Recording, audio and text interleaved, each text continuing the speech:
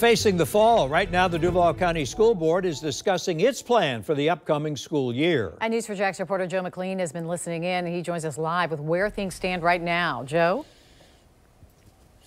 And uh, Tom and Mary, they just moved on to the uh, budget discussion that was uh, part of the agenda. But before that, they heard public comment from uh, several families uh, uh, of school age children saying, many of them saying they want the school board to impose a mask mandate uh, in line with uh, CDC recommendations that came out this week.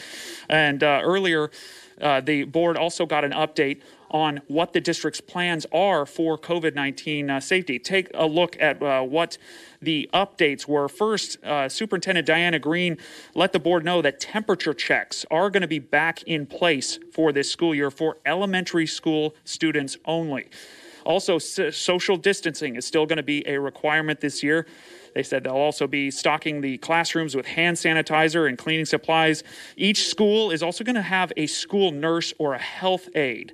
And also, the big question on many parents' minds is the board is still uh, holding to no mask mandate. They said they're going to strongly incur- strongly recommend masks, but not require them. Uh, the person who updated and has been working with the school board is Ernesto Rubio, interim health officer for the Florida Department of Health uh, in Duval County. Uh, Ernesto, can you talk a little bit about how the health department has been working with the school district on developing COVID 19 plans? Right, we've been working with the school district throughout this COVID 19, also through the summer school that we've had.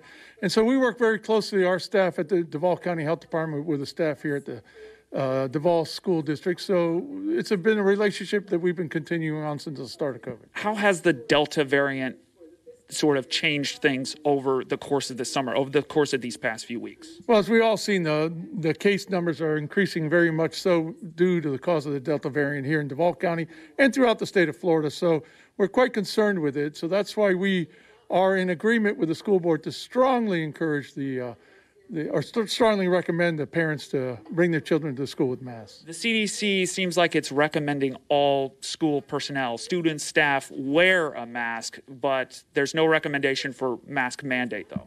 That's correct. Uh, You know, our governor has clearly stated that that is a choice by the parents and the individuals, so we stand behind that. But again, our recommendation is we strongly recommend that you wear masks, vaccinated or not. Thank you, uh, Mr. Rubio. More on this coming up on News 4 Jax at 10 and 11. Reporting live, I'm Joe McLean, Channel 4, the local station. All right, thank you, Joe. Our coverage of the pandemic continues right now on our website, news4jax.com, where you can find a list of COVID 19 testing sites. Just look for the story on our homepage.